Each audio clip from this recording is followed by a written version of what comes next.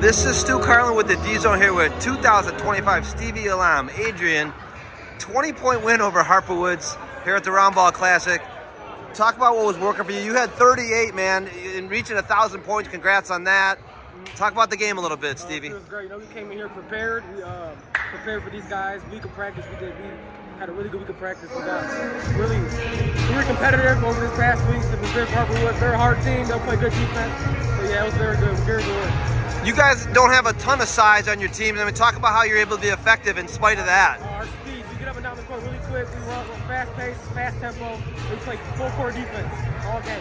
You, you've, you know, you're only you're a junior, but you've, you've gotten. It seems like bigger, stronger, better every year. What, what, what have you been improving on in your game? Uh, weight room a lot more. Uh, my jump shot's getting way better. Uh, passing the ball more, assists, rebounds, all that. Playing more defense, defensive end is way better as well. You know, Adrian's a pretty small, you know, small school. I mean, talk about you know being able to play at a small school and, and, and you're a, top player. You know, getting the exposure you need to get.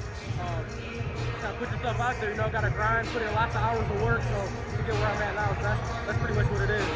And, and talk about you know just, just recruiting a little bit. I know you're pretty close with. Uh, the, the coaches at uh, CMU, I know Coach Niz and, and Barbee. Talk about that a little bit. Oh, it's great. They show a lot of love. You know, I was just up there a couple couple weeks ago. And they played Detroit Mercy and beat them.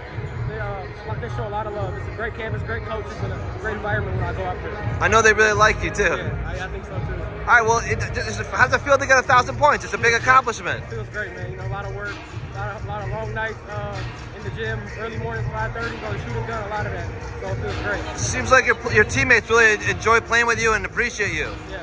You know, I, just, I try to try to stay positive, be a positive leader, uh, get, get them involved a lot of the time, keep high energy at all times.